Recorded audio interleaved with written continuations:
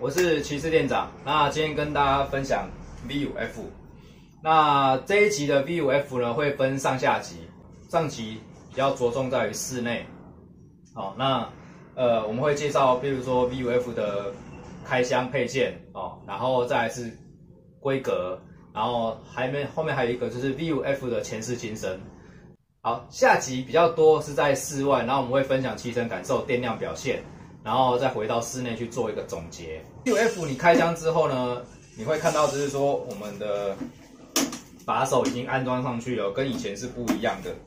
然后它里面配件还有充电器哦，一百到两百伏的充电器，国际版、国际规格的电压啊。然后你会看到是美规的插头哦，哦，美规的插头。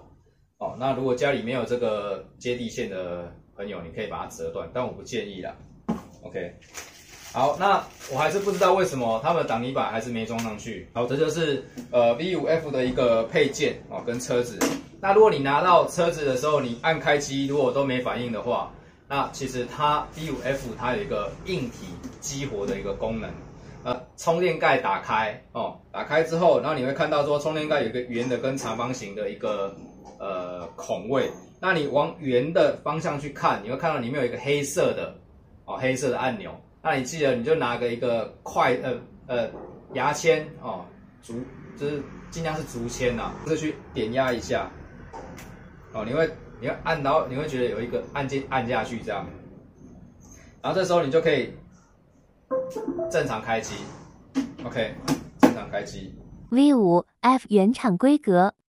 B5F 的车重呢是十一点九公斤，那再来是官方呃宣称的续航力是三十五到四十公里。那以电脑实测，我我比较安全的使用距离是二十公里，哦，大概我可以跑个二十五公里上下，但是有点紧绷啊。时速可以二十五公里每小时，哦，然后呃爬坡十十八度，但是十八度这个测量呢，我会建议。如果你真的爬停车场那个坡度的话，我的体重爬得上去，但是你们如果在体重比我更重的话，再爬比较有机会断电哦，比较危险。那载重一样是一百二十公斤，充电时间是三个半小时。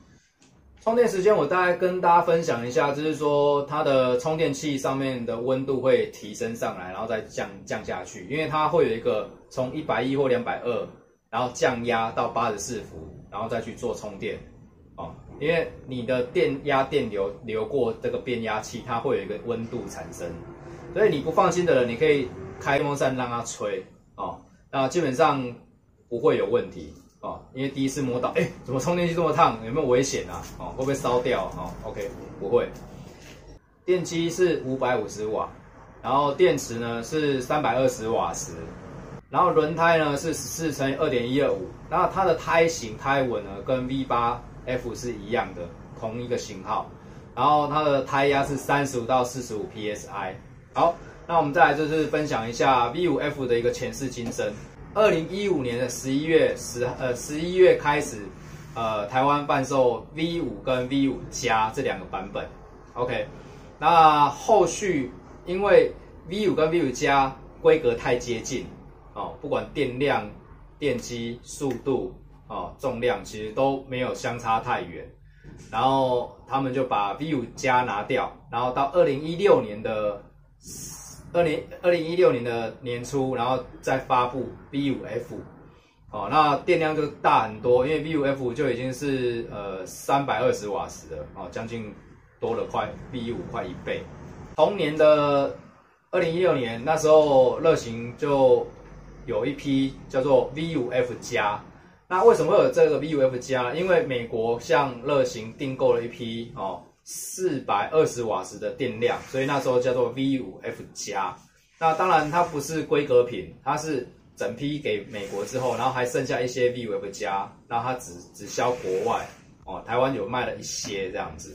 OK。那其实以 V5F 加的规格来讲，如果有买到，真的算算赚到了。现行的国际版的规格版本呢，就是以 V5F 啊 V5F 为主，那主要都是黑色啊黑色。那后续车出的版本都是黑色。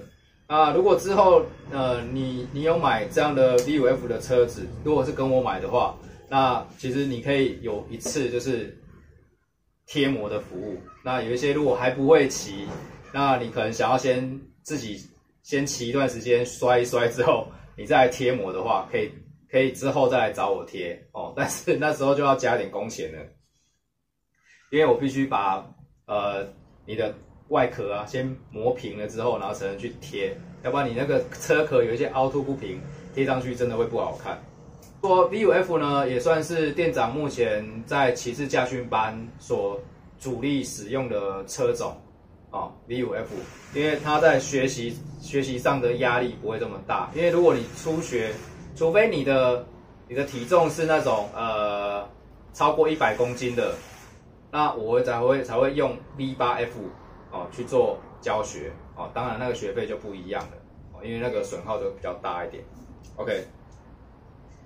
好，那 V 五 F 的车种呢，也是骑士店长最喜欢。我的使用习惯，我为什么会常常用使用习惯去跟大家分享说这一台 V 五 F 是我最常用的？因为我出门代步就是会用 V 五 F，买便当、买咖啡、巷口巷口邮局买呃寄一个东西哦，那我都会用 V 五。然后或者说进台北市洽洽工啊干嘛的，我也都会用 V 五 F 做代步。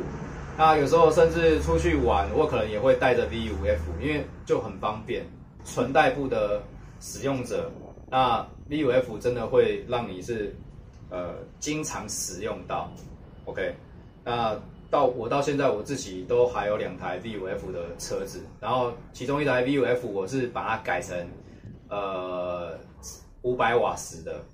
那之后，之后如果你是老车想要再翻新的话，你也可以考虑，就是说，哎，改装好了，然后留给小朋友。我是比较推荐这样的一个改装啦，要不然一颗电池贵三三，你要再改下去，那坦白说，倒不如换新的会比较快哦，因为你不需要多留一台车在身边。以上就是今天 VU F 上集哦，我们在室内聊的有关于规格，然后一直到前世今生，然后跟车子的配件啊这些。那我们再期待有关于下一集的部分。好，别忘了按赞、订阅跟分享。然后我们下一期见，拜拜。